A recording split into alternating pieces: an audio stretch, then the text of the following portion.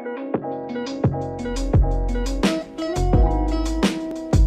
morning everyone, we're in Japan. It's our second area, we're here in Osaka. Today we're going to show you guys a little bit of what a Japanese house looks like. You open up the door, it's a sliding door. And so, usually you have a place where you take off your shoes right here. Now we're moving on to the guest room. This is where we're staying. I love Japanese houses because they have Japanese traditional mats that you can just lay on and it's so like awesome. I just love it. I'm gonna, no matter what, I already decided, like even if I live in America, I'm gonna have one room look like this because it just looks so cool. Over here we have the bathroom, which really cool. All the doors in Japan are sliding, so you walk in and the, and the toilet seat just opens up. Coming upstairs, this is where the dining room and the kitchen area is.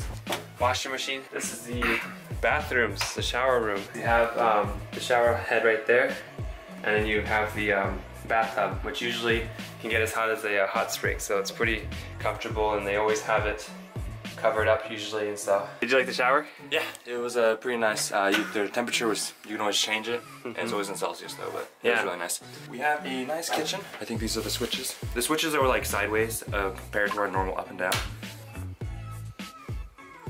So this is just like a normal thing in Japan. They have just loaves of bread or super thick bread. Like our American bread is like, you know, like little slits like this. In Japan, it's either a full loaf where you cut it yourself or it's just a big old chunk like there, there, there, there, and there, and there.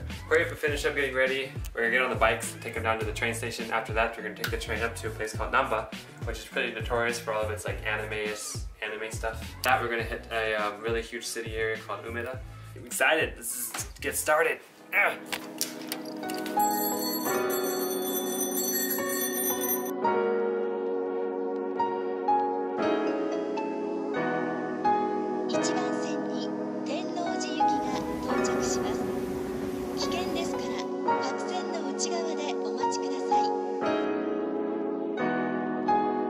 Big this photo booth is. So you come here, choose all your settings. You come in this room, you have this.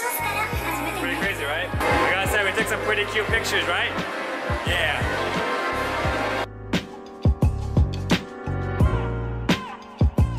Pizza stacks! Pizza stacks! That's like Pizza! that's like a good four feet. Wow, ooh, ooh. banana milk. Banana milk. Banana oide. Oiru? Oide. How do you get this in? Hey, no. Like a pro.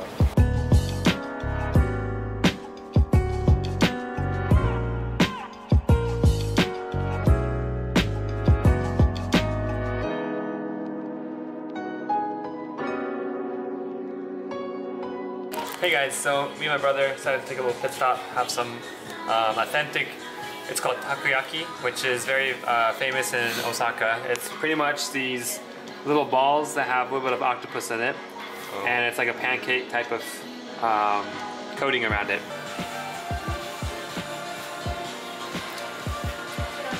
It's alright. That's the octopus little tentacle. It's like it's like chewy, like gum, right? Yeah. It's like gum with like a lot of lumps on it. Yeah.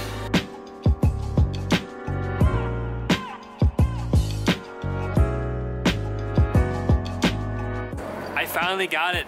I've been coming to Japan for three years and I've always wanted one of these bags. This is like, I call them like Pokemon bags because they're like, you put them on your back and they're super nice to hold things in. And I finally got it. I can finally say I've been to Japan and completed my life. I'm so freaking excited.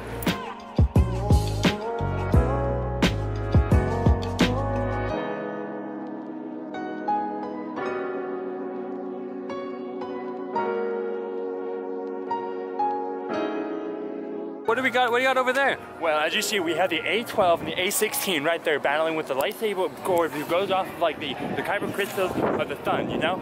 So he's doing the move called like the double axe sword swing. And then he also has like hand in a position where he goes, boom! Got you guys.